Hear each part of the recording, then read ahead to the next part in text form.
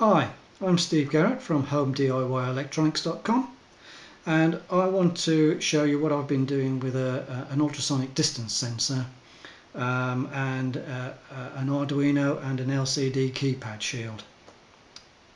Here's the uh, ultrasonic module that I've been using. It's a, uh, an HC SR04 module.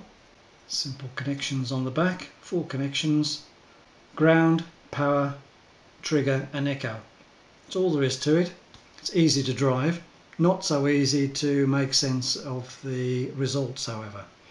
And uh, this is what I want to talk to you about today. All the details for building this, uh, including all the software, uh, you can find it on homediyelectronics.com. Here's my Arduino distance sensor.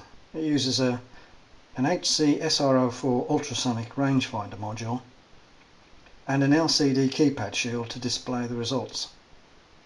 Now, when I started to look at ultrasonic range finding, I started off by looking at every individual distance that uh, it, it, gave me. And I, I soon found that that was very difficult to, to actually make sense of because the sensor sometimes has trouble locking on to any individual object. What we're looking at here is the sensor uh, looking at a, a small object at about 120 centimeters away with the wall behind it. you can see at the moment most of the time it's uh, uh, it's it's looking at the wall which is about two meters away but occasionally it picks up the object. Now, the ultrasonic sensor is a very simple one. All it does is is uh, it, it sends out a 40 kilohertz burst of pulses and measures the distance or measures the time it takes for the echo uh, to come back to the to the sensor.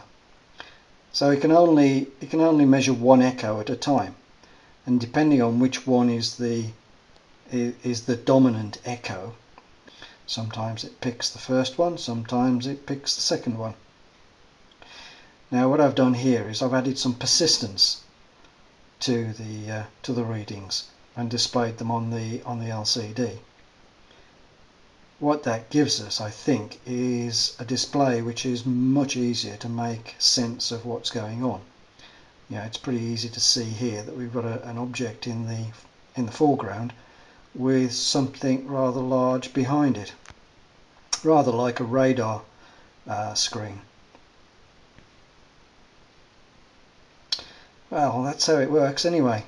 You can see uh, all the details for this on the website at homediyelectronics.com.